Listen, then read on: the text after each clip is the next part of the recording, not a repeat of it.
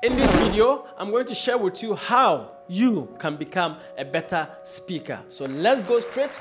Number one, practice. The more you practice, the more you become a better speaker.